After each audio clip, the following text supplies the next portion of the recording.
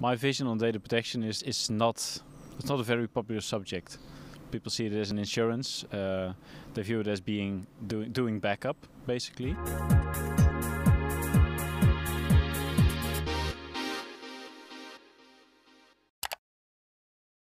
I'm standing next to Sven from the data protection team. Uh, Sven, can you explain what you are doing with Dell EMC data protection?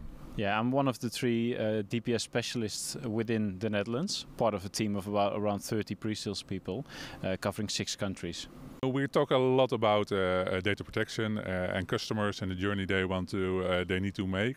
what's your vision on data protection for customers? My vision on data protection is is not it's not a very popular subject people see it as an insurance. Uh, they view it as being doing doing backup, basically. Uh, but data protection is, is far wider than backup nowadays. Um, we have basically data in flight and we have data at rest. And, and we, as data protection specialists, we see everything that is at rest as our responsibility. And that means that in, in the past we would have crashing VMs or crashing servers or, or human mistakes.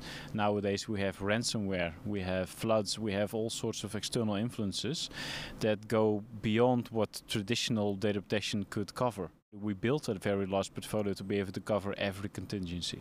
Okay, so uh, in the upcoming vlogs, uh, we are going in depth in uh, specific uh, data protection uh, teams. Uh, what two questions should I ask my customers to think about during their holiday so we can help them after the holidays updating their data protection environment? To give them something to think about. Yes. Yeah.